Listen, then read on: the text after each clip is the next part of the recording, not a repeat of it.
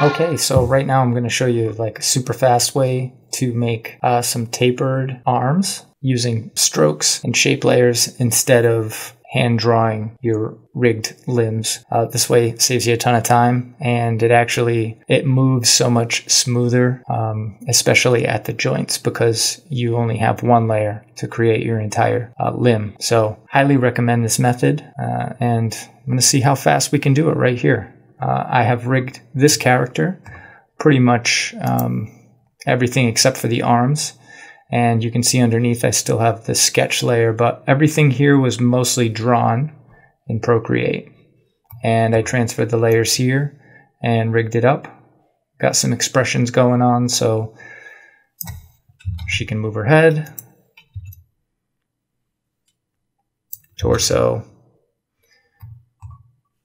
and legs. And now I just need some cool arms to cap this off and I thought it'd be a lot easier to just make them in After Effects. So what I'm going to do is create a new layer, shape layer.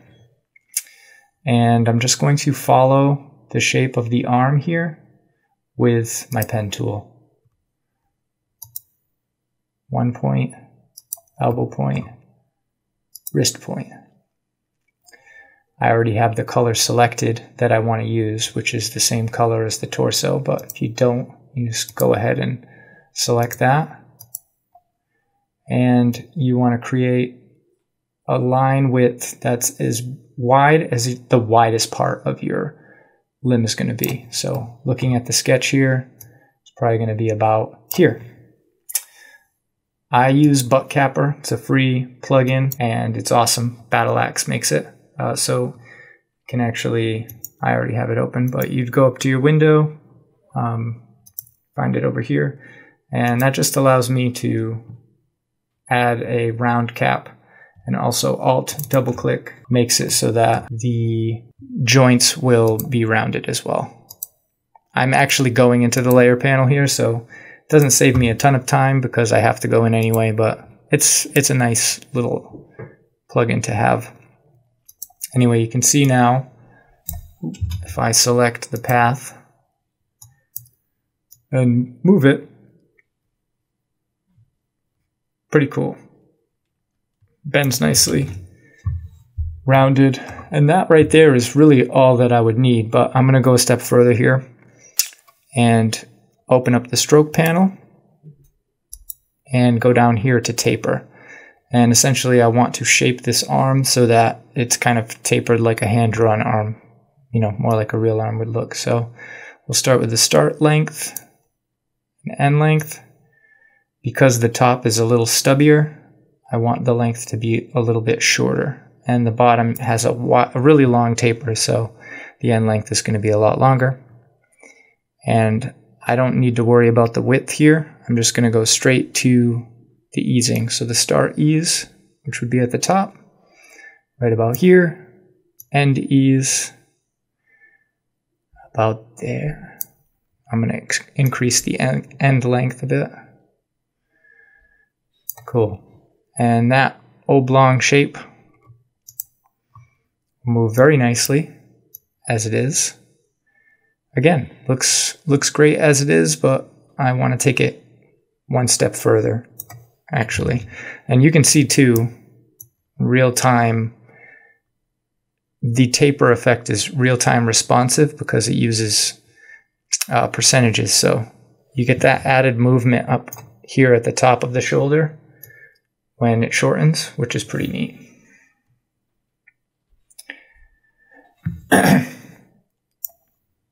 now I'm going to go down here to wave. And this is just really optional part, but I like to do this. Um, I'm going to add a little bit of a wave effect here. You can see it kind of shapes gives you a little waveform. You can get extreme, but I just want a little something. And if I increase the wavelength so that there's only two crests, you'll have a little dip sort of near where the elbow would be. And if you can't get that lined up where you need it to, you can mess with the phase. And there we have an awesome shape. That's pretty much exactly what I'm going for. I am going to mess with the width, the end width on this, just to make the shape closer to what I had in my drawing. And that pretty much covers the shape. It moves so nicely. And there are ways that you could rig this um, for perspective purposes. You know, you can see here, this is a really difficult thing to achieve, uh, that perspective look. And you have it so easily here just by using this shaped stroke. I'm going to actually use Duik to create an IK on it, but that right there is also an option. So before I do any of that, I'm going to save my project, name this file, or name this layer. This is going to be my left arm. And then I'm going to duplicate it because I'll be using the same thing for the other side.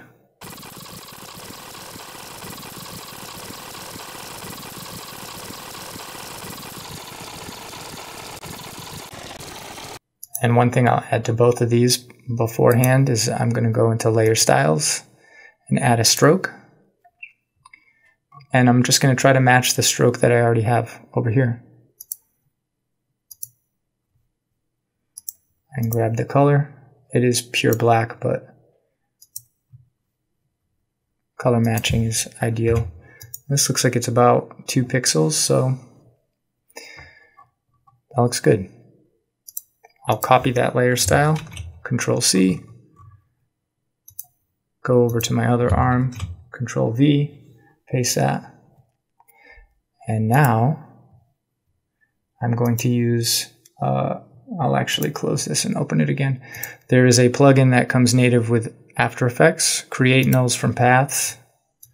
Or I don't know, maybe you need to download it, but this is free and it, it is supposed to ship with after Effects, I believe. Um, using this plugin, I'm going to select the shape path here and select points follow nulls. And what this is going to do is it's going to take each point on the line and create a null uh, for it to follow, which is great because now you have an easy way to manipulate it without opening up the layer. And I can rename each of these. It's going to be left wrist, left elbow, left shoulder. And these are going to completely control the arm. so I'm going to parent them in reverse order, wrist to elbow elbow to shoulder. And then selecting all three of those, I want to go to my window and open Duik. And under rigging, I can just auto rig this. Boom. Easy. Inverse kinematics. Arm looks awesome. Highly responsive. The list goes on and on. It's great. I like to shut off auto stretch. And I can just sync this into my file. So select all those and put them in order here.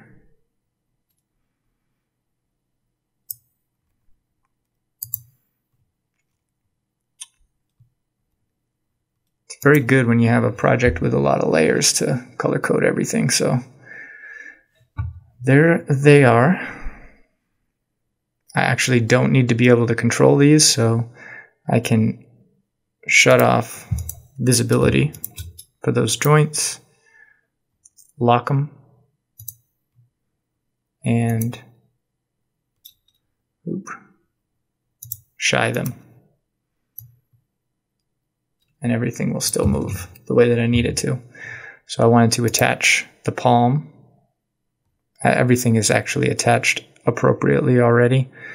Um, I want my left hand, sorry, to attach to the wrist. So I'll look for the left wrist over here.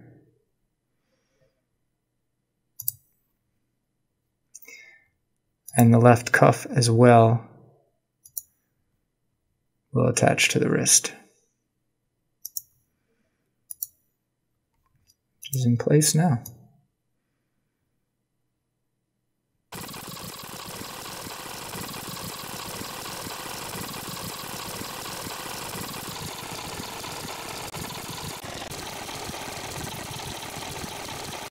Ah, that's it. Yes. So opening up the wrist. I figured this out the other day and it was uh, irritating me. But with Duik, it automatically attaches the rotation to uh, the IK chain, but you don't need it on the last one. So I'm going to Alt left click the rotation there, and now everything should move in line. Yeah, that is it. And that should not affect the overall performance of your rig. All right, that's the arm. I want to attach the shoulder to my torso shoulder.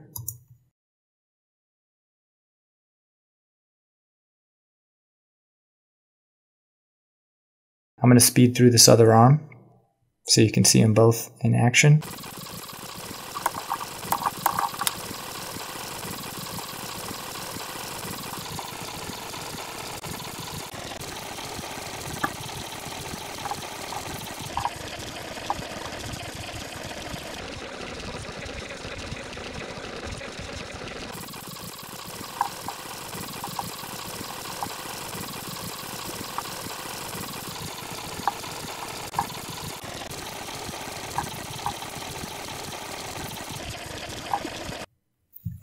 Okay, so the other arm is fully operational at this point. So I want to do one more thing. This may or may not pan out here, but um, another option, optional thing you can do here is uh, just to add these extra lines. Uh, that's literally all it is here, is just this little teeny line that I hand drew and they work pretty well to just recreate the look of breaking the, the line with a hand drawing. What I'm doing is attaching it to the, attach both of these to the elbow, the left elbow. See how it moves. Moves pretty good. And um, you can basically like shut these off depending on which way the arm is moving. So looks like because it's moving that way, can add it to that side. It just adds a little crease in the elbow, uh, and that's it. I'm going to duplicate these, add them to the right arm.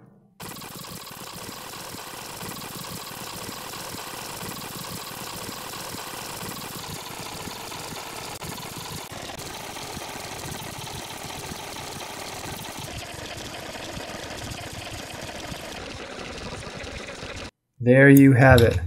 The greatest arm rig of all time. That is uh, really a matter of opinion, but I think there will be at least five people that agree with me. So let's see. Do you agree? Let me know in the comments. Um, if you make anything with this, I'd love to see it. Definitely get at me. And uh, if if I messed anything up, if you think I'm sloppy, you can let me know that too. Um, please like and subscribe. Got lots more of these coming. So uh, let's make some animations, huh?